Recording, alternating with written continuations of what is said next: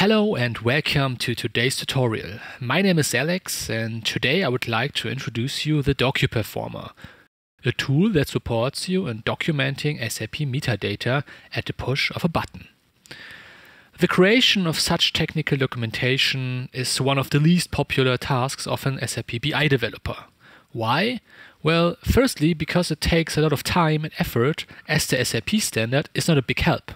And secondly, because it is difficult to keep them up to date. Because, let's be honest, who documents every little change in the system and updates existing documentation? We have solved these two challenges, as well as other problems in the context of SAP documentation with the DocuPerformer.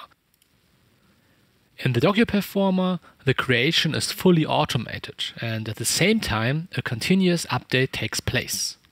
The consumers of SAP documentation can therefore rely on the correctness of the documentation, which makes it a valuable aid. I would like to demonstrate how the tool works with two examples. Therefore, I will show you how you can document a single query and an entire data model in just a few minutes. So let's jump into the DocuPerformer and start with the live demo. The DocuPerformer is one of four products that can be accessed via the Performer suite. What do we see in this initial view? First of all, we see a selection of supported system types down here. So we see here BW, S4, a BO, multiple HANA, and an SAC system. You can see which object types the DocuPerformer supports per system listed on this slide. You can find more detailed information on our website and in our online user manual. Let's return to the DocuPerformer.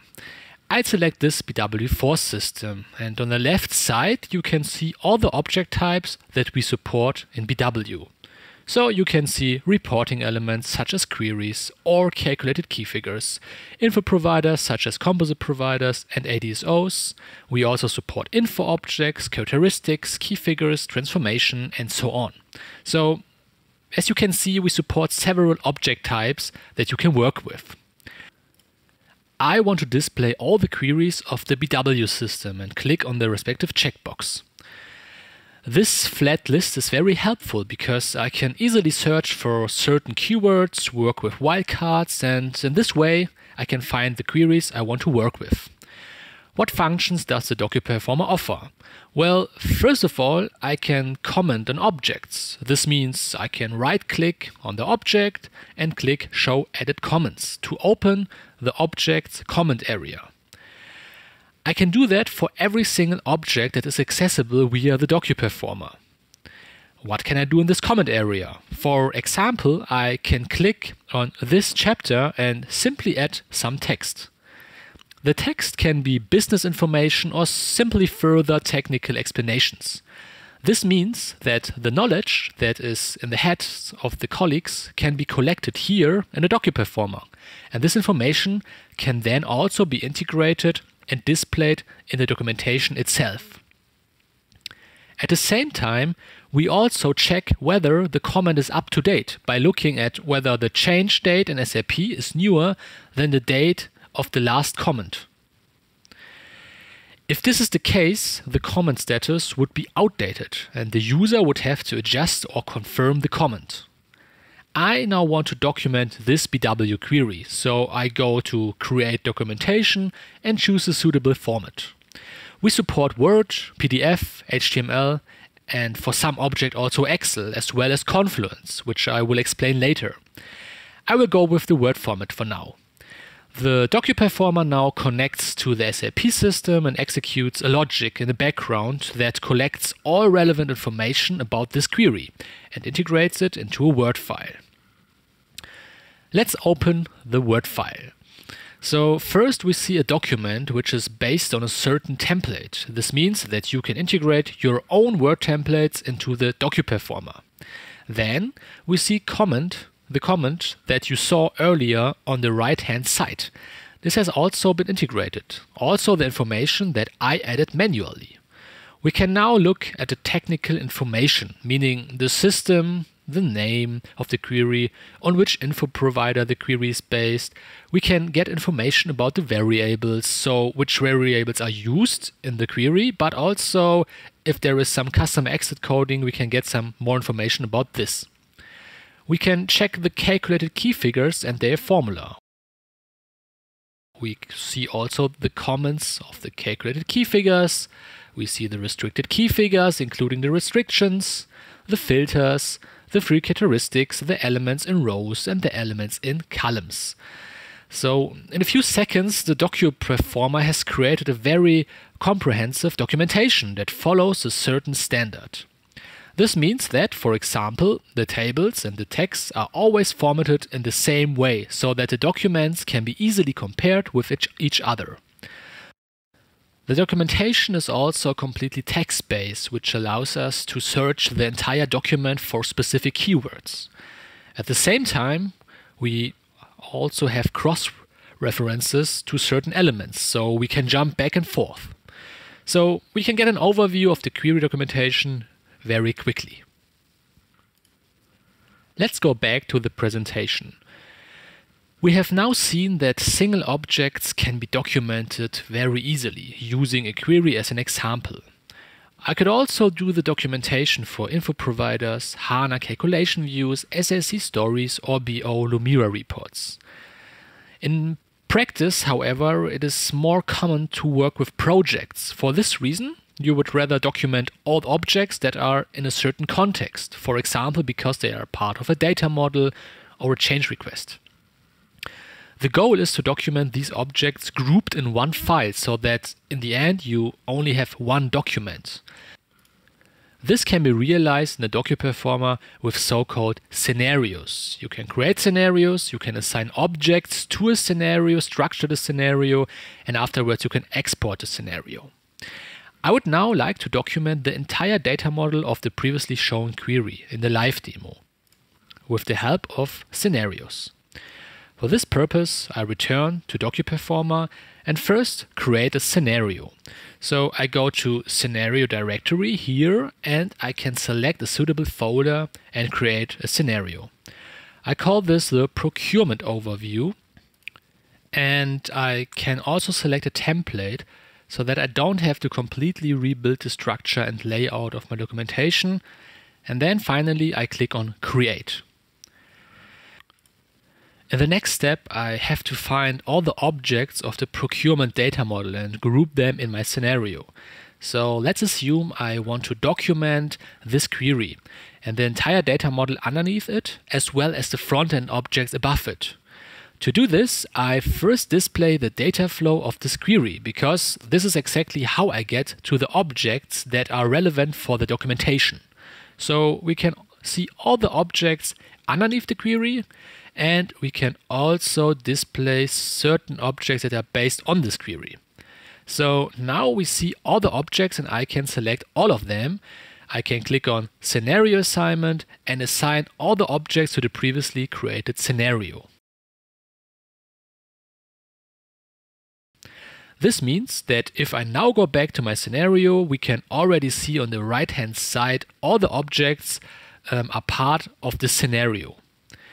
I will open the scenario so that we can take a closer look at its content. So first of all, we see the objects that are now all part of the scenario. We have three data sources that we see here, for example. We see info sources also here, three objects on this layer. So the documentation is structured, in this case, according to the LSA++ architecture with the different layers like EDW layer, reporting layer, and so on. I can make certain adjustments in the scenario. For example, I can remove certain objects that are not included in my later documentation. I can also add certain structure elements to the scenario. Um, these structure elements represent a chapter in the later documentation and can be filled with content at the same time. With this manually added content, I can add cross-object or organizational information to the documentation. In our case, helpful information about the data model in the introduction or um, information about the responsibilities and so on. When the scenario is ready, meaning a proper structure has been selected, additional information has been added, and the objects have been assigned to the scenario, then it can be exported. During the export, all information as well as, as, the technical documentation of all objects is integrated into one file. For this scenario, I already did the export before recording this video. Here we see the result. First of all, the document is also based on a Word template that has been integrated into the DocuPerformer. We see the title of the scenario and also the structure element introduction together with the manually added content. Next, we see the entire data model in a graphical representation. This data flow is generated at runtime when the scenario is exported. So the DocuPerformer goes into the system and checks what the data model currently looks like and then generates this graphic. If we look further, we see the ADSOs, which have also been commented with further information regarding data logic in this case. We can look at the details and first we can see the info objects of this ADSO. We see the transformation under this ADSO, including the mapping. The documentation tells us if any formulas appear, as you can see here. And at the same time, a big benefit, we can also see the coding, in this case of the start routine. Let's have a closer look at the HANA calculation views, because the previous data model was a mixed scenario with a calculation view. Here we see the technical information on the calculation view, such as the columns, the structure, the various join conditions, and the included attributes, and so on. The documentation also contains an SAC story that was based on the query. So we get information about which models are used and which queries act as the databases. So, in summary, we have received a really detailed documentation that contains all the important technical information. The export can also be done to Confluence by clicking on Export to Confluence. Then, the document shown before is automatically uploaded to a Confluence page, which can also be selected in the DocuPerformer beforehand. We see the same content here that we have seen before, for example the assigned objects or the network graphic. We have seen with the help of two examples that the effort can be reduced tremendously and a complete data model can be documented with just a few clicks. But there is still one problem. Who ensures that the documentation remains up to date? For this, we have the automation tool if, for example, two scenarios should be documented continuously, then you can select them. You can define certain target group specific settings, such as the language or the level of detail, and finally decide when the export should take place and where the document should be stored. Colleagues then benefit from access to up-to-date documentation. For example, if a business employee want to check a formula of a key figure in a report, then she or he does not have to ask the BI developer but can comfortably get the answer with the help of the documentation. Let's summarize what I have shown you. I've demonstrated to you that you can create documentation at the push of a button and at the same time enrich this documentation with further knowledge. So the problem of high effort is solved already. Company-wide templates can also be used to make work with DocuPerformer more efficient. New scenarios do not have to be designed and built from scratch, but are based on scenario templates. This standardizes the whole process and makes it easier to check whether certain changes have been made to the objects. At the same time, the documentation is text-based, so that documents can be searched for specific keywords. The documentation is also target group specific as certain settings can be made before the export that affect the language or the level of detail of the information the export process can be automated through the automation tools. So you can define when the export should take place so that daily updated documentations are automatically stored in a central location. I hope I was able to show you that this unpopular topic of documentation is actually manageable with the right tool. With the DocuPerformer, the challenges of documentation can be faced so that the benefit of the documentation is finally greater than the effort required to create it. You can also convince yourself of the functional scope of the DocuPerformer by testing it for 30 days. Feel free to contact us, we would really appreciate it. Have a nice day, bye bye.